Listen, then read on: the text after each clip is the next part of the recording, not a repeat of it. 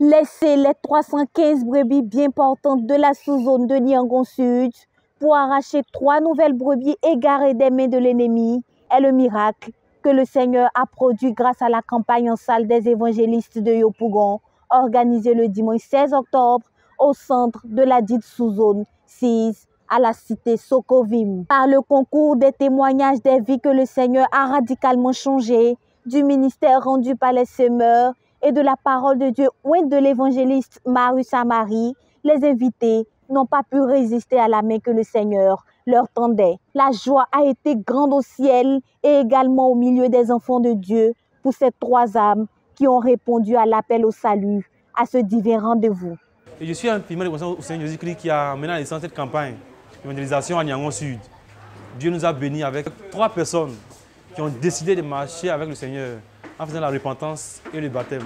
Et nous sommes très reconnaissants au Seigneur pour ces, trois personnes. Et nous engageons à faire davantage d'efforts pour que le Seigneur soit euh, davantage honoré et glorifié dans le sang de Nyangon Sud.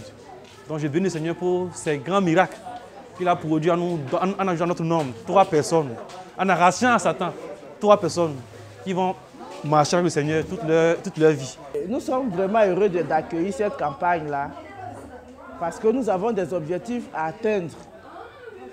Quand la zone veut atteindre 10 000 personnes, nous, à notre niveau, nous allons travailler pour atteindre 1000 personnes. C'est donc une bouffée d'air en ce qui concerne les campagnes des évangélistes. Mais quand même à notre niveau personnel, nous avons notre programme. Nous avons estimé qu'à notre niveau, si une personne gagne au moins 4 âmes, nous allons atteindre nos objectifs d'ici le 31 décembre 2022. Hier, par exemple, nous avons eu la nuit de prière avec les dirigeants pour mettre sur pied nos stratégies de travail. Nous aurons un week-end de salut et de guérison par mois. Nous aurons des journées de prière, nous aurons des nuits de prière, prier pour que nous atteignions nos objectifs. Gloire à Dieu. Soulignons que les frères et sœurs de la CMCI au Pougon pressent de l'avant, ayant les yeux rivés sur l'objectif à atteindre, déposer 10 000 disciples au pied du Seigneur d'ici le 31 décembre 2022.